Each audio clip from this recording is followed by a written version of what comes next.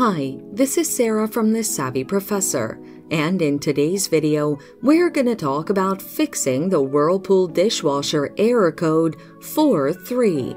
But first, what does this error code mean? The error code 43 on the Whirlpool dishwasher indicates a breakdown in communication between the wash pump motor and the electric control board. The following are some of the common causes of this error code a faulty wash pump motor, or a faulty control board. Now, let's look at the best solutions you can apply to fix the error. Check the wash pump motor. When the motor is faulty, the machine will make a loud noise when you initiate a wash cycle. Use this procedure.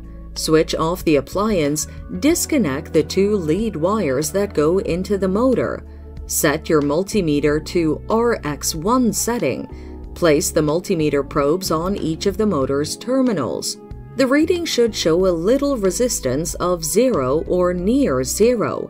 If you get readings of anything above 0, consider replacing the motor. Check the control board. The error 43 can occur if there's a problem with the control board or the circuit board connected to it.